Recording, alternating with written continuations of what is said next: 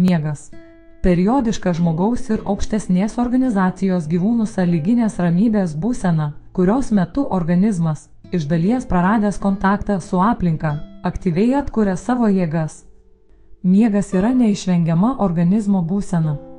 Jos metu atsijungiama nuo išorinio pasaulio signalų, kadangi smegenys turi apdoroti ir įvertinti nemiego metu gautą informaciją, ją sunaikinti arba išmesti nereikalingą ir pasenusią. Trumpoji atmintis užpildoma dieną, o naktį joje esanti informacija palaipsniui pereina į ilgąją atmintį. Kai žmogus miega, susilpnėja jo fiziologinės funkcijos, pakinta jų darbo režimas, išnyksta samoningas psichikos aktyvumas. Miego metu kaitaliojasi alfa, teta ir delta smegenų bangos.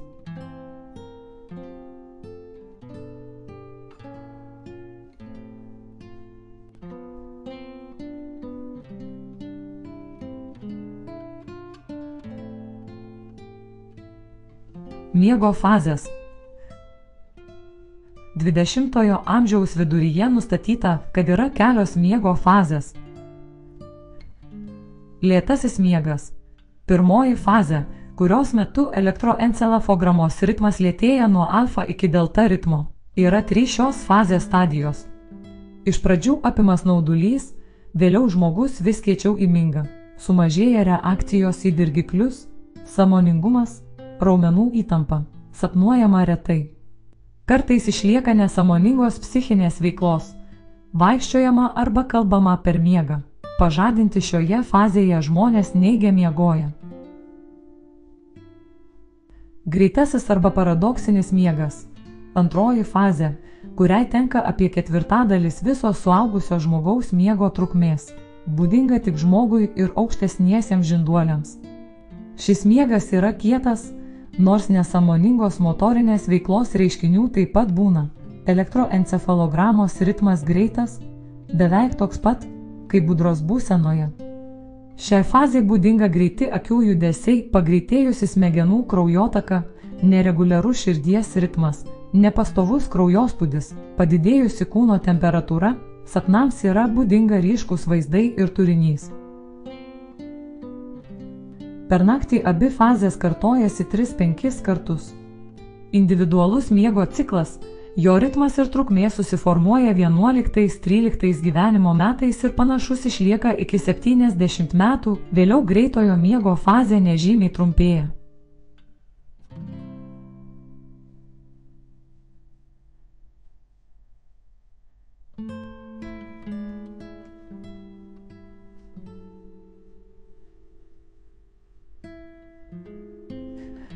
Miego mechanizmas.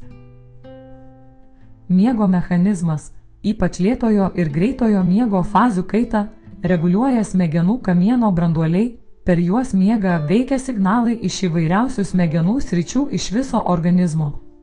Miegas susijęs su daugeliu fiziologinių procesų, pavyzdžiui, baltymų biosinteze, augimu, įsiminimu. Nustatyta, kad yra glaudus ryšys tarp sapnų turinio ir praėjusių dienų įtampos Tai lik psichologinė reakcija į stresą. Raumenų įtempimas, įtampos būsena sąlygoja negilų miegą, kuris neleidžia tinkamai palsėti nervinėms ląstelėms. Visapusiškam polsiui būtinas gilus miegas.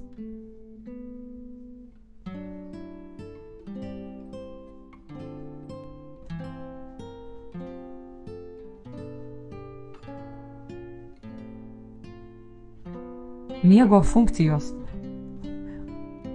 Adaptacijos teorija teigia, kad miegas genetiškai dėl savo trukmės yra skirtas ekologiniai ir biologiniai pusiausvyrai palaikyti. Kai kurios kačių rūšys miega iki 18 valandų per dieną ir tai siejama ne su poilsiu nuo medžiojimo, būdravimo metu. Kalibracijos teorija tvirtina, kad miegas reikalingas įvairioms kūno sistemoms ir jų veiklai harmonizuoti, kad būtų laikomasi tam tikro biologinio ritmo. Neurofiziologija teigia, kad miego metu vyksta intensyvus informacijos, gautos būdravimo metu, perdirbimas, atranka ir išsaugojimas. Jo metu smegenys kartu yra tarsi išvalomos nuo perteklinės, nenaudojamos informacijos, kuri miego metu yra vertinama pagal vidinius atrankos mechanizmus ir yra sprendžiama, kokia ir kiek ji yra svarbi.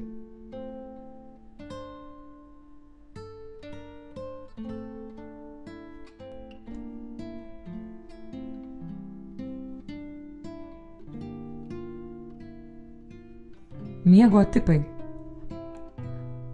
Be fiziologinio miego dar būna patologinis, narkotinis, priepolinis, hipnotinis miegas. Hipnotinis miegas pagal savo pobūdį skiriasi nuo natūralaus fiziologinio miego. Atlikus tyrimus, tyriamųjų elektroencefalogramose užfiksuota, kad po hipnopedijos seanso yra tam tikras nuovargis, todėl skiriasi smegenų veiklos funkcionavimo ypatumai atitinkamai nuo miego tipo. Hipnopedinis miegas pripažįstamas specifinė psichofiziologinė būsena, besiskiriančia nuo hipnotinio bei normalaus fiziologinio miego.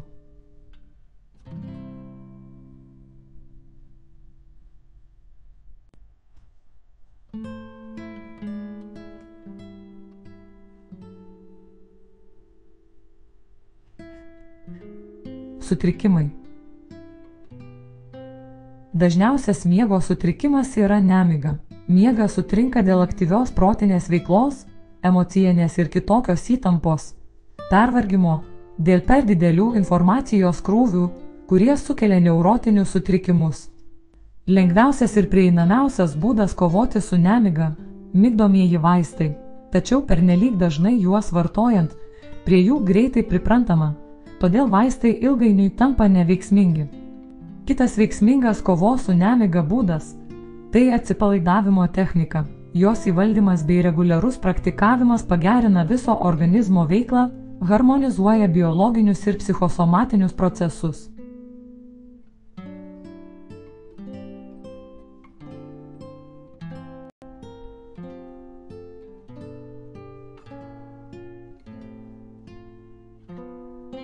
Gyvūnų miegas Daugumai gyvūnų miegas yra smegenų aktyvumo sulėtėjimo, kūno neveiklos periodai.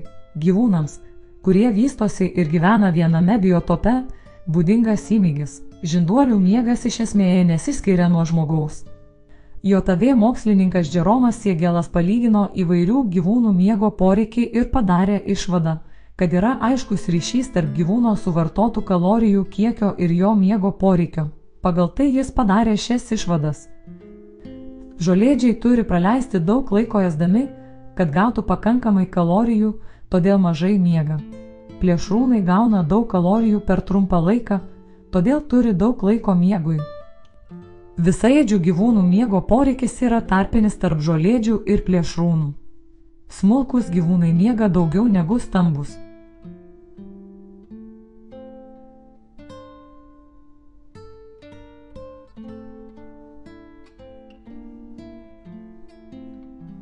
Jei patiko vaizdo įrašas, būtinai paspauskite patinka, rašykite komentarą arba užsiprenumeruokite kanalą Zuikio TV.